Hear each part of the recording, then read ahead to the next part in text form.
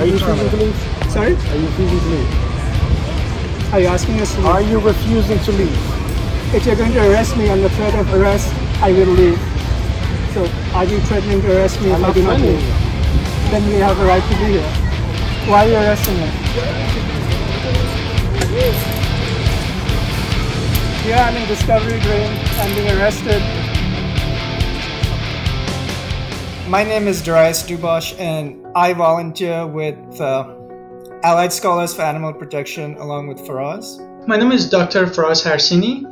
Uh, I'm a biomedical and food system scientist, and I'm also the CEO and founder of Allied Scholars for Animal Protection, which is a US based nonprofit that protects animals. And I'm also the co organizer for Anonymous for the Voiceless for Austin and Houston chapters. The form of animal advocacy that I find the most effective is called the Cube of Truth. And it's pioneered by a group called Anonymous for the Voiceless. They've got chapters in over a thousand cities worldwide.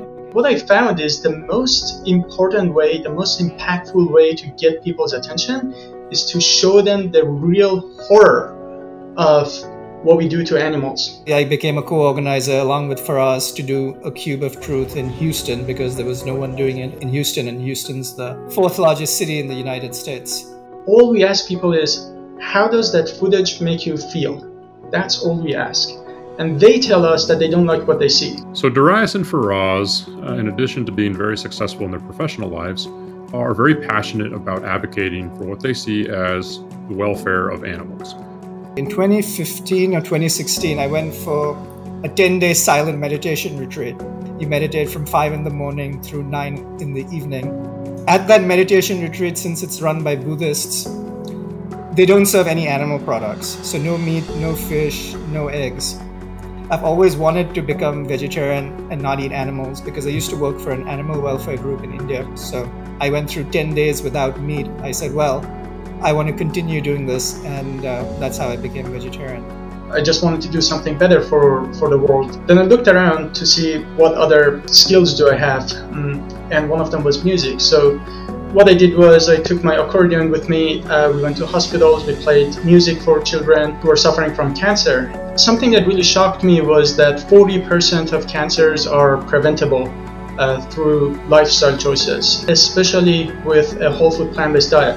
Uh, I reached a point based on what I saw on documentaries like Dominion and also based on my studies that there is nothing logically, rationally, statistically, uh, ethically better to do with my life than dedicating my life to uh, spreading veganism. They often go out into public spaces and hold these things called cubes of truth.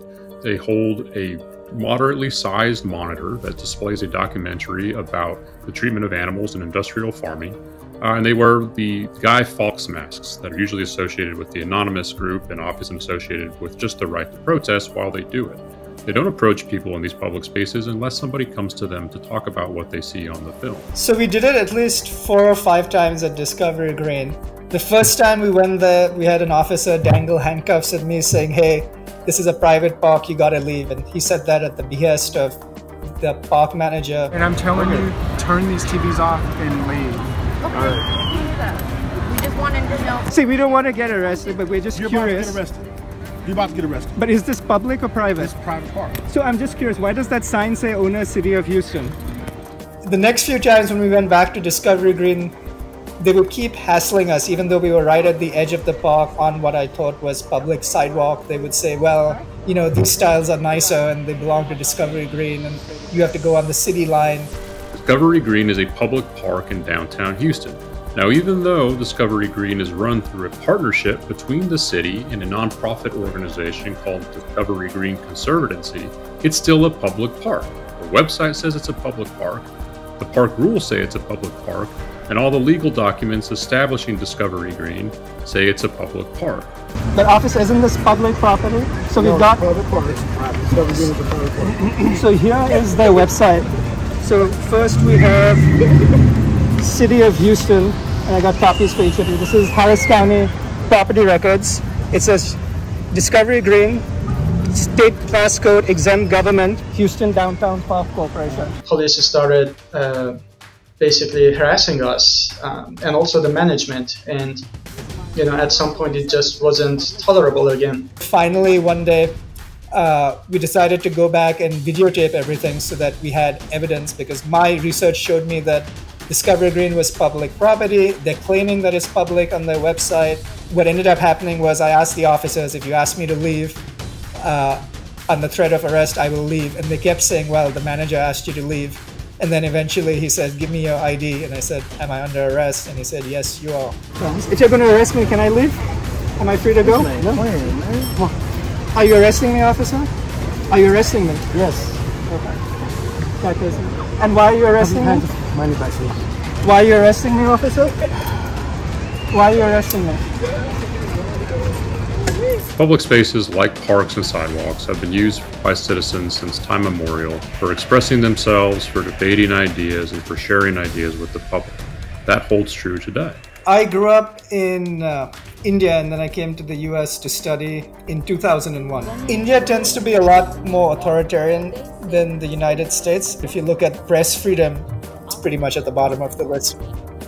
There's not a culture of speaking out. When I was back in Iran, I was actually a part of a lot of uh, protests for human rights against the Iran's regime.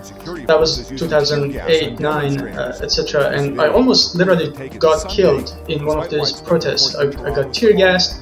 Uh, my dad uh, jumped from a building. He broke his arm uh, trying to run away from the anti-riot police. Uh, so really, just coming from a, from an environment where freedom of speech was so lacking. When I came to the U.S., you know, everyone talks about freedom of speech, and you know, of course, I think I really enjoyed it for a long time. So having that experience and then suddenly being in Discovery Green and facing this uh, oppression um, and discrimination against our content and uh, you know our freedom of speech was very disheartening. There's something that I know to be right and I know to be true. I should be talking about it even if it's not popular to do so. I'm a scientist and educator, and all I want is for myself and other people to be able to peacefully show up in a public place and be able to uh, protest or educate others about whatever they want to talk about. So, FIRE is partnering with the Law and Religion Clinic at the University of Texas Law School to defend the rights of Faraz and Daraius to hold peaceful advocacy events in Discovery Green. It's a public park. They have a right to express themselves there like every other American does. There are times when I have to do what I have to do, and if I don't do it, these rights will just get lost.